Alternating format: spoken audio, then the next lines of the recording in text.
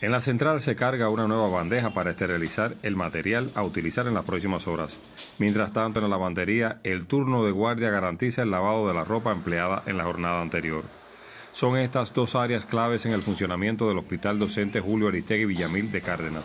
Sin embargo, ambas, al igual que la cocina comedor y otros departamentos más de la institución sanitaria, dependen del correcto funcionamiento de las calderas de vapor, equipos en el centro asistencial son cuidados con celo.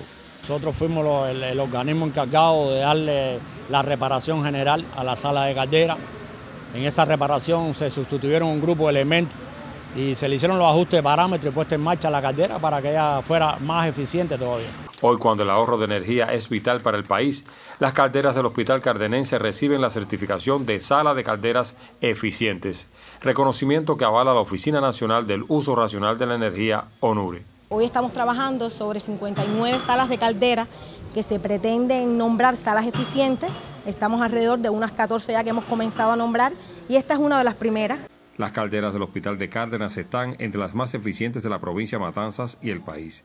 En cada hora de trabajo los equipos consumen cerca del 40% menos del combustible que requieren, algo que representa un ahorro significativo de diésel y a su vez divisas al tiempo que es de valor en cuanto a la protección del medio ambiente por la cantidad de CO2 que se dejan de emitir a la atmósfera.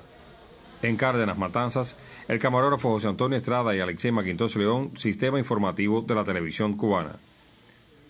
En Cárdenas, el camarógrafo José Antonio Estrada y Alexei Maquintos León, Sistema Informativo.